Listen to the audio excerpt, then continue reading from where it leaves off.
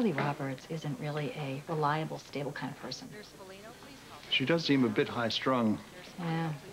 Well, as a matter of fact, if Carly sensed that AJ was about to slip, she probably greased the diving board and gave him the tiniest, gentlest shove right off into the